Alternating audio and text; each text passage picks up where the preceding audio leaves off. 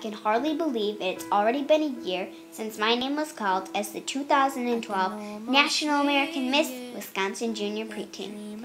I had a blast throughout my reign by making appearances with my sister queens and promoting my platform of organ and tissue donation throughout the whole country.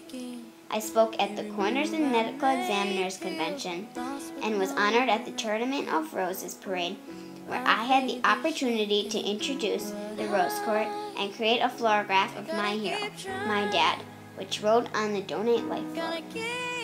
At Nationals, I got to ride my first loop-de-loop roller coaster and was blessed to win the prestigious title of National Spokesmodel. But I certainly couldn't have done it without some very special people. Daddy, I know you were with me on stage the night I delivered my speech about organ and tissue donation. I know I will see you one day, and I'm so happy you're looking down on me as my guardian angel.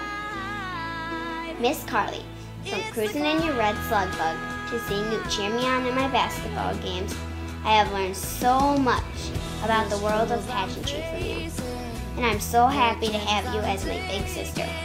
To mommy and my family, I can't thank you enough for supporting me in everything I do whether it's in sports, pageants, or a shopping spree to justice.